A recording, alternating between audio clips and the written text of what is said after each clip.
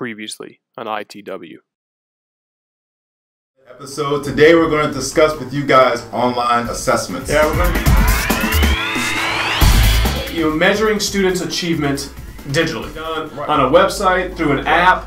Uh, Uh, could be, data analysis. what allows you to do is collaborate. Say, I think my favorite is Mastery Connect. There's another one that, that I like called Socrative. For your trouble, what we're going to do is we're going to pick two people. We're going to pick someone to win the ScreenBeam and the Apple Volume Purchase Voucher, another hundred dollars. Hello, Ilana, Donna, Jake, Jill, Aubrey. Where are you guys at?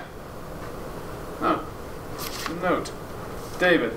I won't be able to do the show this week because I'm in Raleigh at NCTIES. I'm sure you're going to do a great job. Sorry about this, but good luck. P.S. Don't do a giveaway again this week. Oh, heck yeah. All alone. Let's go.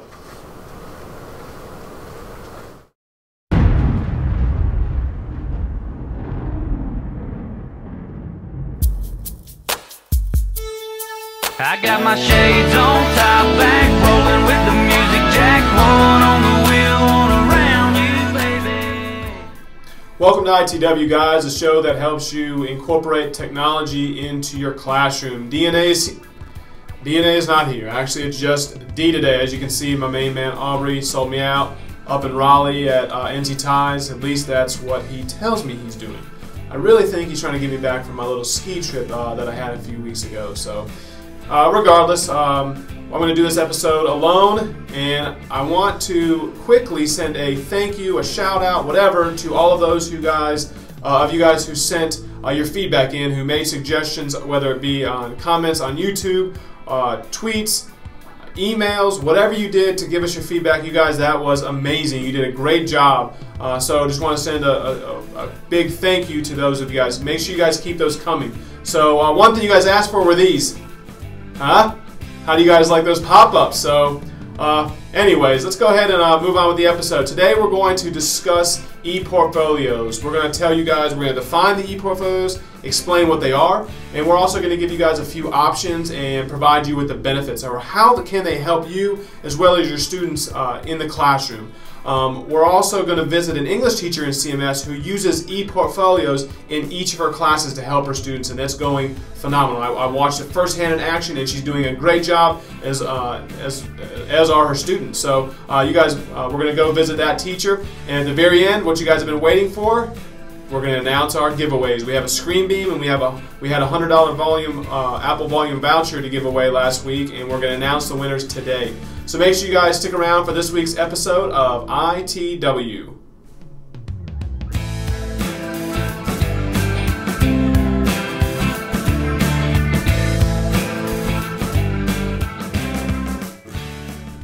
All right, an e-portfolio or a digital portfolio, as some people call it, is a digital-based collection of student performance over time. Now, aside from the obvious advantage of being a web-based space to collect student work, it also serves you and your students many other purposes, like tracking progress over time, keeping track of work done to meet uh, the Common Core standards. It also teaches students 21st century technology skills and allows you to keep in touch with parents. Now, portfolios enable an easy way for teachers and students to have open dialogue about the student's work and progress. It gives the students a place uh, in which to showcase their strengths that they might not show on a letter grade or on a report card. Uh, for those uh, for those of you guys who teach the seniors, it's also a great place to uh, put all of your information for college. It's a great tool for college applications. A few options for e-portfolios that you guys might want to consider. Evernote, Google Sites, Wikis, EduBlogs, Weebly's, WordPress. Now these are just a few of the options you have, but you need to go out there and check what fits you and what fits your students best. Now, what you guys asked for and what we thought we'd bring you is let's go ahead and hear from an English teacher in CMS and see how she is using e-portfolios in each of her classes.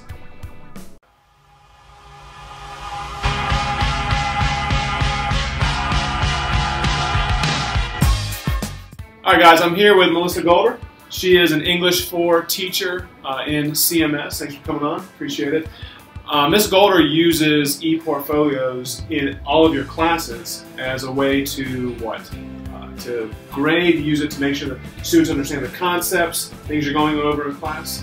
Right, yeah, we use it as a record of learning and a chance for the kids to um, show evidence of their achievements and, you know, also to work on their um, technical skill, you know, using technology obviously is a, Teaches 21st a huge skills. 21st century skill, yeah, that we try to teach. So those are obviously some of some of the advantages uh, in comparison to doing it the old way, I guess. Um, is the 21st century skills. Any other advantages that, that kind of come to mind, real quick, using e-portfolios? Yeah, definitely. I mean, it it is something that makes it much easier for kids to collaborate and to share their work with people. You know, it's much easier to just send a link to an e-portfolio to a number of people really quickly rather than have you know a single binder that you have to pass around and show to everybody.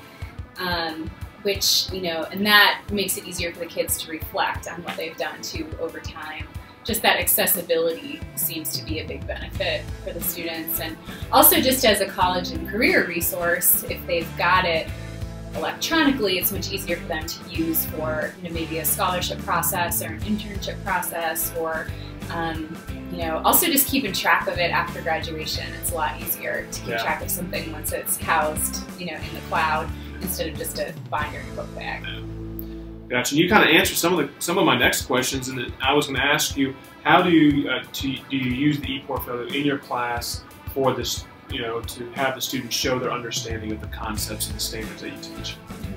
Yeah, I mean, it's basically just a collection of demonstrations of mastery. So, um, you know, it might be final projects or final essays or, um, I mean, even a test that they, they did really well on or a lab report for a science class or something, you know, for instance. Um, I mean, in, in English, it's primarily, you know, essays and projects and letters and things like that. And use it mainly for the senior eggs a lot. We do use it for the graduation project, yes. So we do their graduation project portfolio as a virtual portfolio, which, you know, again, it just adds new levels of, you know, skill and content and things like that that have, weren't there before when Yep. we used to do it as the binder. Um, but I mean, you know, it just it's pretty simple to align it with your Common Core standards and just you know have a set of artifacts that show mastery for all of those standards. Gotcha. And you know, it's pretty simple. Although in English four we have 41 Common Core standards. A little overwhelming. A little bit. Yeah. You you know, you may not be able to do them all, but you can you can show good evidence of mastery. Gotcha. Now that kind of leads us into the next question. Again, is is uh, how do you assess the portfolios? I know you said you use a rubric. Can you kind of explain that rubric a little bit? Yep, so we have a rubric and it grades them for the content, so the quality of the artifacts that they're putting in the portfolio. It's not just, you know, have anything that meets the standard, but have an example of your best work in a specific standard. Um, also, we've got, you know, the kind of quality oriented score. So, does it look good? Did you pay attention to detail? Did you proofread? You know, all of the things that would qualify something to be a publishable piece we look at in the portfolio. And, and you give that the kids a rubric prior to uh, letting them know about the portfolio. that you do. Right. Yep. They um, rubrics so they know what, what is assessed and you know it's assessed. They know well ahead of time when it's going to be assessed so that they know what needs to be posted for that specific assessment period. Gotcha. And, and one last question. What um, I know there's a ton of different e-portfolio options out there. Uh, what platform did you choose and why? So we are using Google Sites, and um, it just seems to be the best fit for us because all of our students already have Google accounts, and we're using you know Google Drive and Google Docs and Google Yeah. Forms and all of those things in our other other applications in our classes. And so the kids are familiar with it. They've got access to it both on the PCs and on you know iPads and other devices that they have. And um, one great thing also is that we were able to set up a template for the students good. to use um, a customized template to our purpose that kids can then access through Google and then just modify, you know, to personalize it to their own portfolio. Good, good. Uh, guys, well, I want to thank Ms. Golder for giving me about 10 minutes of her time and, and helping you guys. Hopefully, I answered some of your questions about e-portfolios um, and how Miss Golder use it it, uh, uses it in an English 4 classroom. So thanks again for coming on. Appreciate that.